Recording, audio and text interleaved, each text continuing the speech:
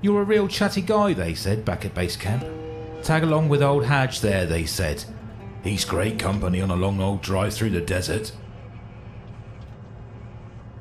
Stilgar had spent all morning trying to get a response from the stone faced Tallarn, who sat beside him in the navigator's position. Over two hours at the controls of another Trojan fuel transport in the tail end of a mile long supply column heading north, always northward, in the wake of the slow and perilous advance of the 12th Tallarn Armoured Division. Nothing but dust and shadows ahead. The plan, your orders, and the unknown. Never a dull mile, they said. Seen the galaxy as Hadge. Plenty to tell to a good driver with a willing ear. Hadge made no reply. He was, as ever, reading. It looked like a primer, the small instructional volume given to every recruit in the service, often seen in the hands of the young, the shaken, or the condemned. Hadge was none of these. Reading anything good in there? Stilgar nudged. Any good jokes? Hadge raised an eyebrow. The infantryman's uplifting primer was not to be mocked. Much of what it contained was considered holy. Litanies and mantras to steel the resolve of the dutiful guardsman. Instruction on the proper care and use of his equipment, which it taught was the providence of the Holy Emperor himself. It must not be scorned. However, many facts printed within its covers were clearly amiss, and only the most naive and gullible man could possibly believe them. More than a few passages in the primer had drawn a wry smile between those in the know before now. Hadge lifted the text meaningfully and read aloud.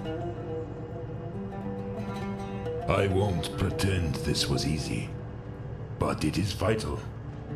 He began in a deep and sonorous voice that well suited the tone and import of his chosen passage. He read on. Vital to the Imperial's success on this world, perhaps to the entire crusade. The enemy and their ambitions will be denied.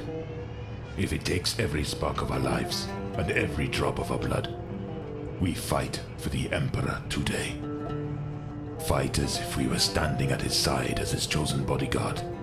Protect the men to your left and right, as if they were the Emperor himself. Do not slacken. Do not falter. Victory awaits you. And if not victory, then the glory of a brave death in the service of the Golden Throne of Terra. The Emperor will provide, if you are true. His hand guides us. His eyes watch over us. And even in death, he will bring us to him, and we shall sit in splendor at his side, beyond the Eternity Gate.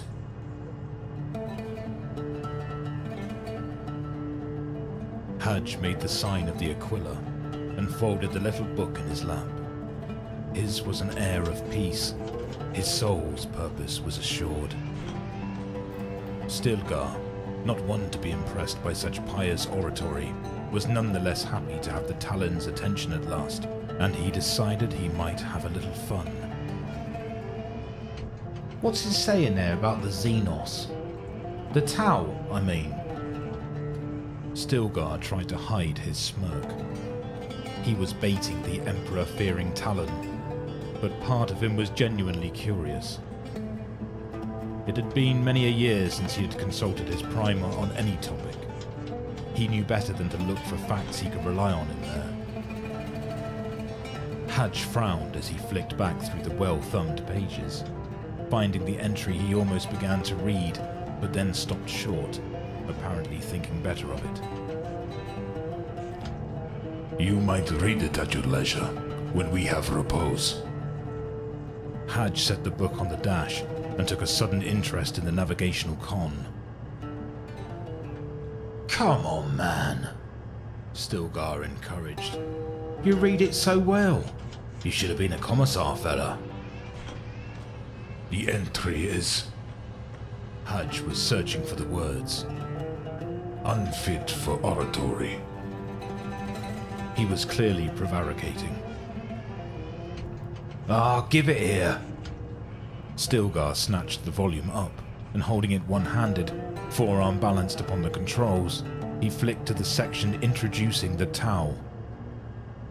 The Trojan jolted and swerved as his attentions lapsed, but he righted their course, ignoring Hadge's protests, and began reading a section at random in his most authoritative tones.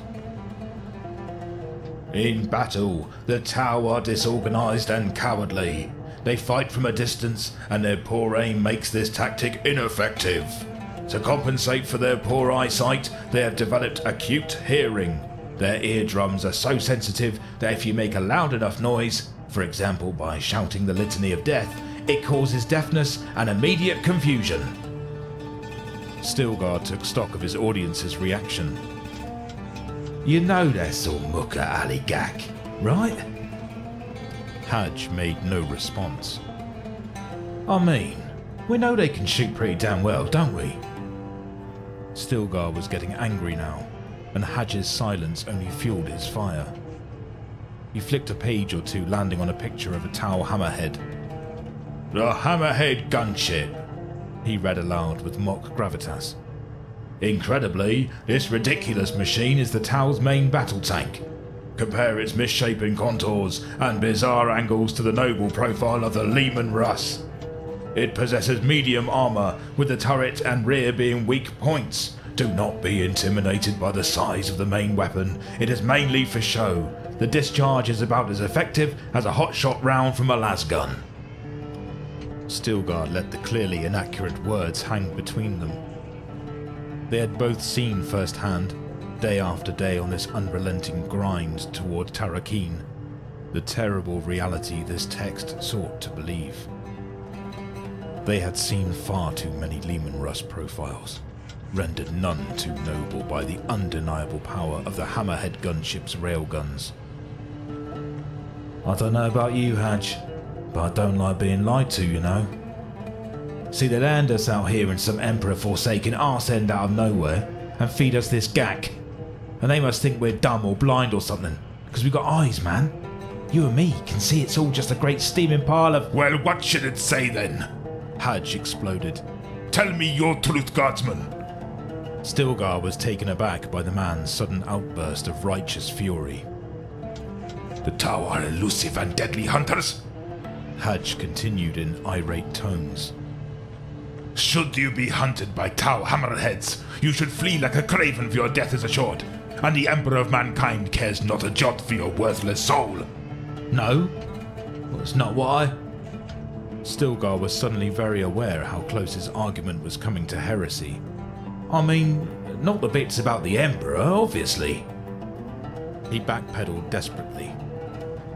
No, it says that the Emperor will lend me strength and instill in me hatred enough to vanquish the Tau usurpers.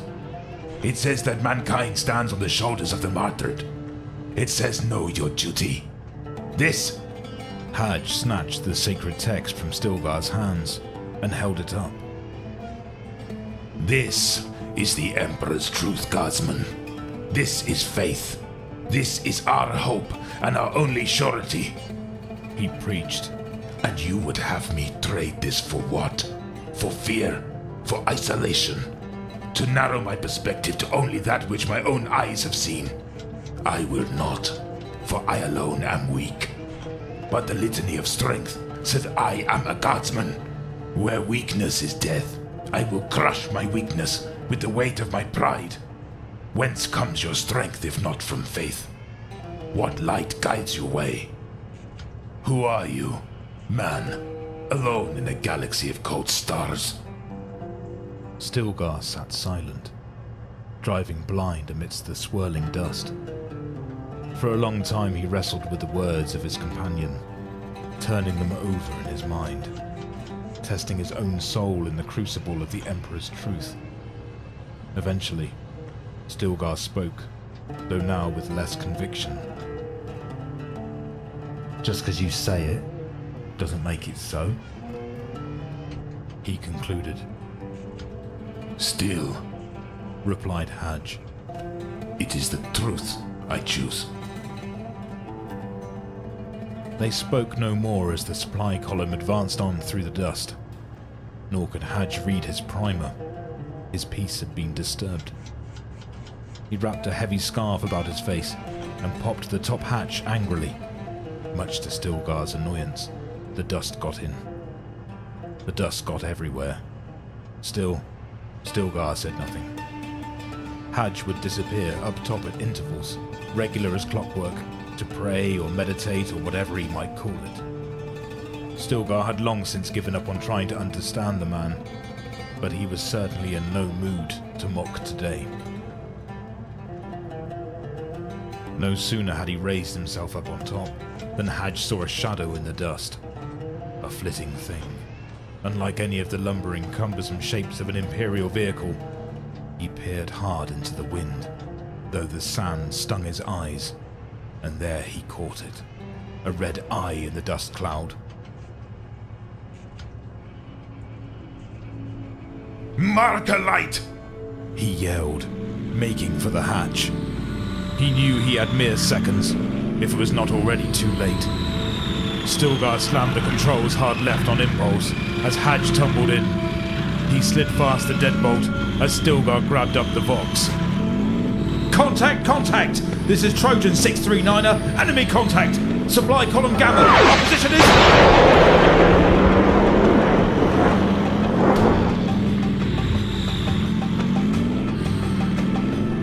The missile strike was a concussive jolt, which shot the air from its lungs. In a moment of utter chaos and agony, the Trojan lurched and slew its considerable weight over and over again, rolling to a bone jarring halt, upended in the sand. Stilgar gasped and coughed into life. In the dim blue emergency lighting and with the Trojan's engines choked of life, all was still and eerie silent. Feeling around in desperation, Stilgar found an exit hatch, and pulling himself upright on the handle, he was about to break out when a hand fell on his hip. Hadge was there, his dark eyes glinting, his face a bloody mask, black in the dim blue glow. Wait, He croaked, coughing in the smoky air. the drones! Hadge passed out, either concussed from his head wound or from loss of blood through some internal injury.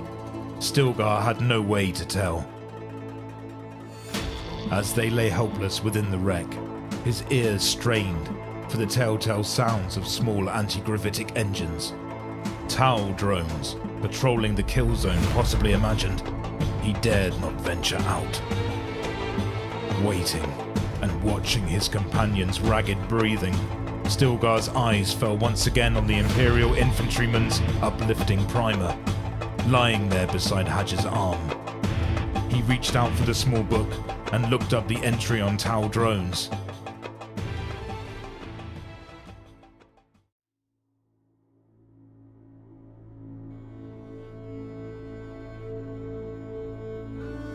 Tau combat robots are called drones. And they take the form of levitating discs, armed with poorly designed pulse carbines.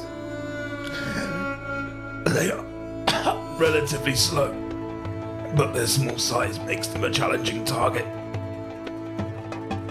Stilgar looked at the Voss pattern lasgun tucked away above the driver's headrest. It was a stubby looking thing with a folding stock and shortened barrel, more suited to close quarter skirmishing than Tau drone skeet shooting. Stand up to take aim.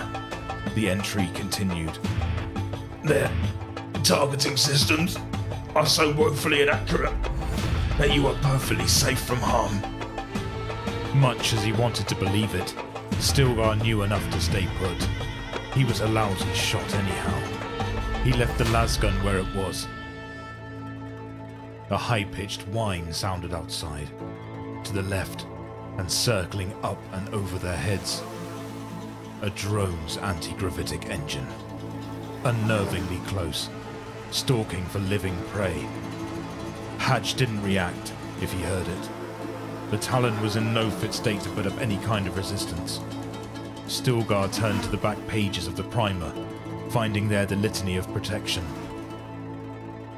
O Emperor of mankind, He read aloud. send your gaze to me with benevolence. Watch over your servant and soldier, and protect him from peril.